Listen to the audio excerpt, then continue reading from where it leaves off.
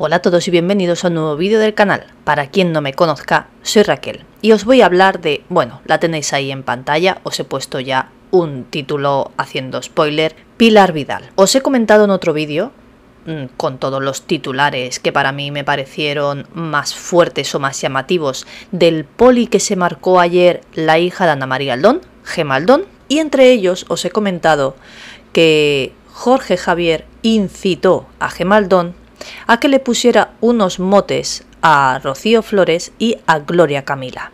Si no llega a ser por eso, ella no dice absolutamente nada, puesto que se le ve cómo le cuesta ponerle esos motes. Todo hay que decirlo, ya sabéis que no me gusta ser hipócrita, pero bueno, al final entró al trapo y las insultó, tanto a una como a la otra.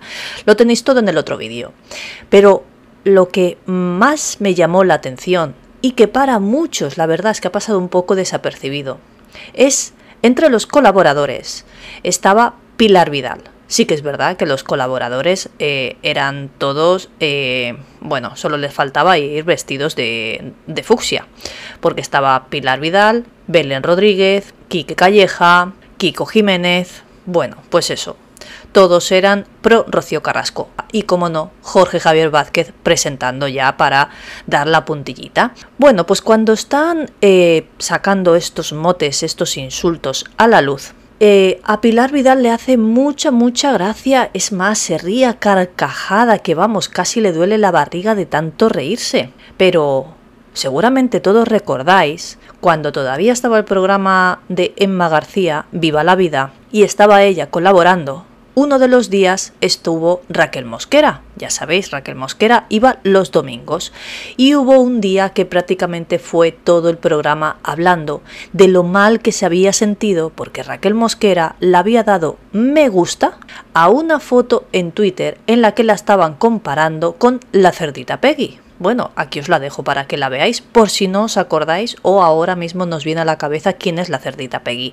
Bueno, la verdad es que desde entonces eh, se le llama casi siempre con este mote. Lo que no puede ser es que exista esta doble moral, esta eh, vara de medir, este embudo, que el embudo siempre va lo más grande hacia ti, ¿vale? O sea que tú te puedes reír de la gente eh, tú te puedes reír de cómo le ponen motes eh, riéndose de la gente. Ojo, que el mote que le pusieron a Gloria Camila, bueno, le puso Gema, eh, era un poco peyorativo e incluso podía hacer referencia a ser un tema racista, algo que Jorge Javier enseguida quiso cortar, pero ya era demasiado tarde, y se reía a carcajadas, algo que fue todo lo contrario cuando Raquel Mosquera, que solo le dio me gusta, vuelvo a recalcar, no lo dijo en un plató de televisión, es más, tuvo casi que, bueno, casi no, le tuvo que pedir perdón. Emma hizo que le pidiera perdón y se retractara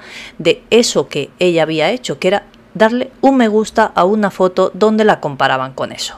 Sí que es verdad que si tú le das a me gusta a una publicación de esta significa que piensas lo mismo, vale, hasta ahí estamos de acuerdo, pero luego no te puedes reír porque a otra persona le estén poniendo unos motes.